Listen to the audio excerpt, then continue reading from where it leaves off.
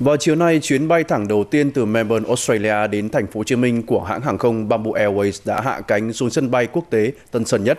Và trước đó thì chuyến bay thẳng từ thành phố Hồ Chí Minh đi Melbourne cũng đã được thực hiện.